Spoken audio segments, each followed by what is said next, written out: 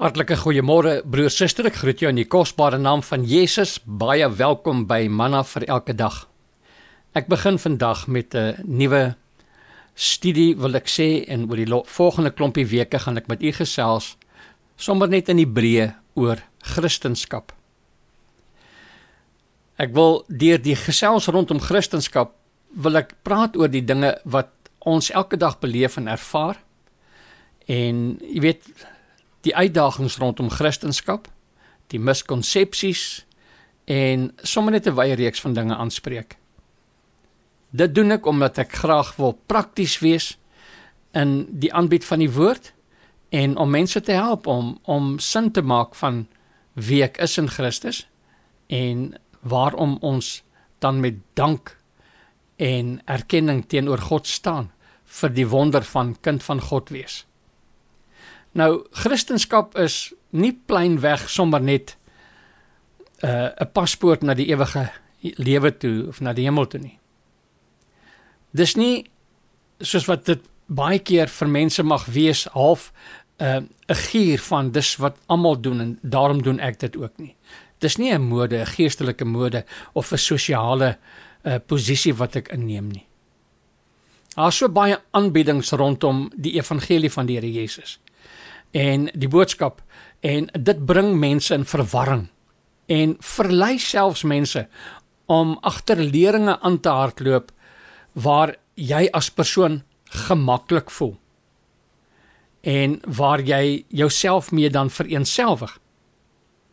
Die fokus van om by 'n plek betrokke te wees of by 'n groep betrokke te wees waar ek gemaklik voel en myself daarmee vereenselwig loop die gevaar dat dit gaan oor net hoe ek daaroor voel. Die fokus lê op my. Ek wil gemaklik wees. Ek wil kan assosieer.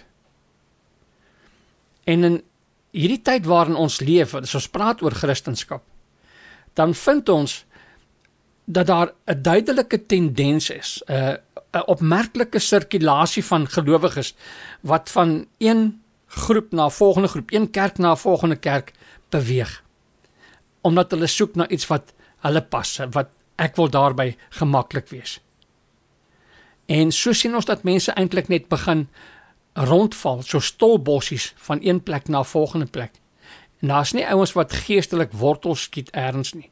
Want ons soek na die Here in tydelike goed, in aardse goed, is waar ons die Here soek. Hierdie soek na en assosieer met iets wat ek mee gemaklik is, is 'n baie gevaarlike ding om te doen. Dis regtig uh uiters gevaarlik as dit die drinkragte word van my geestelike wandel. Want die evangelie is in die eerste plek nie 'n saak van gemaklik voel nie. Dis nie iets waar ek met een of ander standpunt of 'n lering um, my moet vereenselwig nie. Ja, dit sal ook 'n mate daarvan insluit. Maar as dit primêr is waaroor dit vir my gaan, dan mis ek nog steeds die eintlike hartklop van die evangelie. Die evangelie en Christendom gaan oor 'n verhouding. Dit gaan oor 'n verhouding met iemand. En daardie iemand met wie ek verhouding moet hê, is die enige en die waaragtige Here. Ek moet met hom verhouding hê en hy alleen is waarheid. En in hierdie waarheid van wie hy is en met wie ek 'n verhouding moet hê. Met hom moet dit 'n persoonlike verhouding wees. Dit moet persoonlik wees. En dit haal my dan uit my gemaksone uit. Want ek moet met die Here moet ek myself dan in lyn kry om met hom te wandel en in sy weë en in sy voorskrifte staan.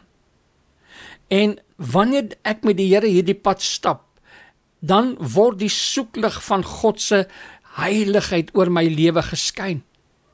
En 'n mens kom tot insig en erkenning vir wie hy is. 'n Mens kom eintlik tot sonde besef. En dan meer en meer neig ek my na die Here sodat hy sy genade en sy verlossing in my kan werk. Onthou, hy het klaar die volle prys betaal. Dis nie asof die Here nog weer 'n sonde stryd moet voer om te oorwin nie. Hy het klaar die oorwinning behaal. Dis hier in my lewe, dis hier in my beperkte menswees waar ek moet ontsla raak van dinge wanneer ek in die lig van die Here staan en in die Here ontdek wie hy vir my is. Om 'n Christen te wees beteken met ander woorde Boeta Sissa dat ons deur Christus verander word, vernuwe word om soos hy met hom in verhouding te staan. Hy het die prys betaal op Golgotha sodat ek kind van God kan wees. Hy het my sonde skuld gedelg. 1 Petrus 2 vers 24 sê hy wat self ons sondes in sy liggaam op die kruishout gedra het sodat ons die sondes kan afsterwe en vir die geregtigheid lewe deur wie se wonde ons dan ook genees is. Nou as ek die inhoud van hierdie teks verstaan, as ek dit besef, dan kan ek nie anders as om my na die Here toe te wend nie wat hierdie verlossing teweeggebring het nie. Ek verstaan dan dat by hom alleen is vir my die versekering en die waarborg van hierdie nuwe en hierdie waaragtige lewe wat alleen in Christus Jesus vir my beskore is. Om 'n Christen te wees begin dan eintlik by die verstaan en die besef dat ek ontbreek dit aan God se heerlikheid en ek het God nodig in my lewe. Romeine 3 vers 23 sê almal het gesondig nê. Nee. En dit sluit elkeen van ons in. Hy sê ook en dit ontbreek hulle aan die heerlikheid van God. So ons moet verstaan dat sonde plaas ons op 'n plek waar ons buite die heerlikheid van die Here staan. En ek moet myself herken in hierdie saak. Hoe dat ek deur die sonde en deur die vlees wandel en hierdie dinge myself buite hierdie heerlikheid van die Here begewe en dat dit my ontbreek aan die heerlikheid van God. En hierdie heerlikheid van die Here is om te wees wat God wil hê ek moet wees. Uh dat sy heerlikheid in my kan begin lewe, in my kan skyn en ek 'n reflektor kan wees van hom. So Ek wil met u praat oor wat is hierdie heerlikheid van God wat dan ontbreek in my lewe. Ons gaan vir 'n paar dae rondom hierdie gedagte 'n bietjie rondstaan in die woord. Daar's baie wat ek met jou wil deel oor hierdie heerlikheid van die Here wat in my lewe moet wees.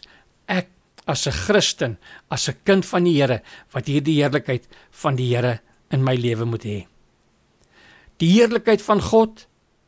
Die woordjie heerlikheid word deur die Strongs uh verduidelik as doxa. Dis die oorspronklike woord doxa. En doxa het 'n paar toepassings. En ek gee dit soos wat die Strongs dit gee: dignity, glorious, honor, praise and worship.